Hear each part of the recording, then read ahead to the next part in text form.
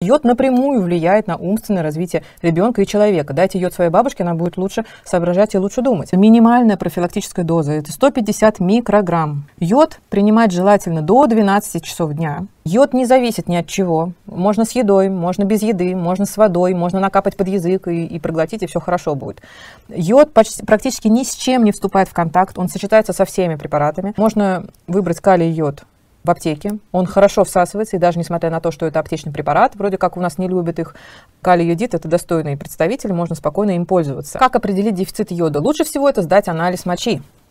Йод там должен быть более 200. Йод нежелательно пить просто так с бухты-барахты. Вот вы просмотрели видео, пошли, купили йод и стали пить. Во-первых, селен, магний, если у вас, вы раньше никогда не пили йод, то сначала пропейте хотя бы месяц вот эти препараты. Селен в дозе 200 микрограмм, магний в дозе 400 миллиграмм. Через месяц начинайте вводить йод с маленьких доз 150